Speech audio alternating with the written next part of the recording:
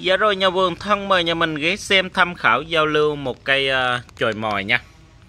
Cây chồi mồi, Cây này là cây lá tròn nha mình. Uh, uh, Cái giống này là ghép được với sâm núi nha. Trái nó rất là giống trái sâm núi luôn. Rồi cây này có mã số là 234 nha. 234 uh, Hoành gốc đo được là 35 Hoành gốc ở đây đo được 35 nha. Cây cao cao lên đến cái đầu thân chính chỗ này là 95 đang nằm cái chậu nuôi lọt lòng là 38 nha chậu nuôi lọt lòng 38 à, ờ, cây này nhà vườn giao lưu là 2 triệu bao ship nha mình 2 triệu bao ship. Cây này thì về mình vô dây là ok luôn. À, mình vô dây định hình là ok luôn. Rất là dẻo nha thân rất là dẻo. Cái này vô dây rất là thoải mái luôn. Đây này đó cành này cho mình làm ở đây, ok luôn. Này sẹo nó bao này rất là khỏe luôn nha. Đây này sẹo nó bao này rất là khỏe luôn.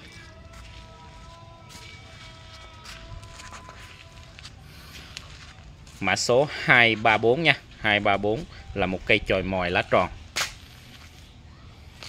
Ở nhà cũng có một cây cũng đang trái quá trời luôn nha. Cây này nhà vườn giao lưu là 2 triệu bao ship nha. Này thì mình xem tham khảo luôn. Được duyên thì ủng hộ nhà vườn luôn nha. Rồi thì sẵn tiện mình uh, video này mình mình review trực tiếp uh, nối nối tiếp tới cái cây chồi mồi đang có trái luôn nha. Đây uh, mời cả nhà mình cùng uh, theo chân nha. Cây này thì cây lớn cây này thì lớn lắm. Ồ coi trái nè cả nhà. Trái ăn rất là ngọt nha. Đây nè trái nè. Quá trời trái luôn. Trái ăn rất là ngọt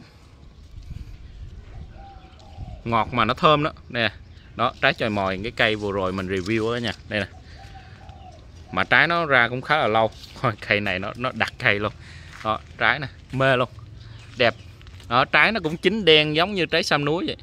Đó nhưng mà ăn nó rất là là là là, là thơm nha. Nè ăn nó rất là thơm. Nó ngọt lắm à.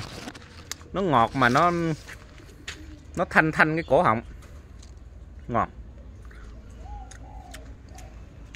Wow quá đã luôn rồi nha. Đó cây chồi mồi.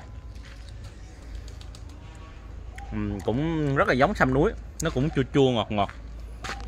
Đó mình xem review nha. Đó nếu mà được duyên thì ủng hộ cái cây đó luôn. Còn cây này thì mình chưa có giao lưu. Cây này thì mình cũng để kỷ niệm rồi chơi thôi. Tại cây này cũng một người bạn tặng á. Đó trái này quá trời trái luôn. Này wow trái. Đó, trái này ăn được nha. Rồi rất cảm ơn cả nhà mình luôn nha.